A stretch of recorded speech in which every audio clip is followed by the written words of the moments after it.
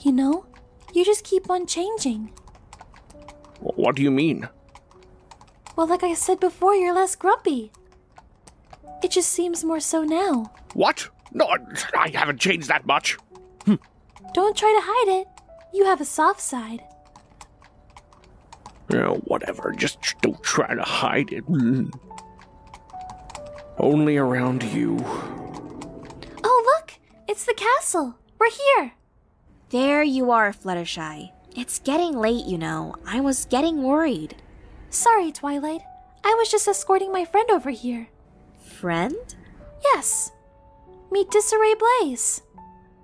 Disarray Blaze, huh?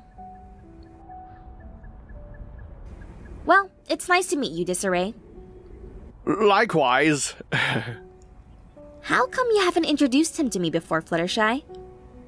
He's been pretty busy lately, but since he had some time cleared up, I asked him to come visit and stay with us. Oh, we should have a dinner tonight in Disarray's honor. I think that sounds lovely. What do you think, Disarray? I think that sounds nice. Right? Let's go inside. It's getting cold. You're doing great.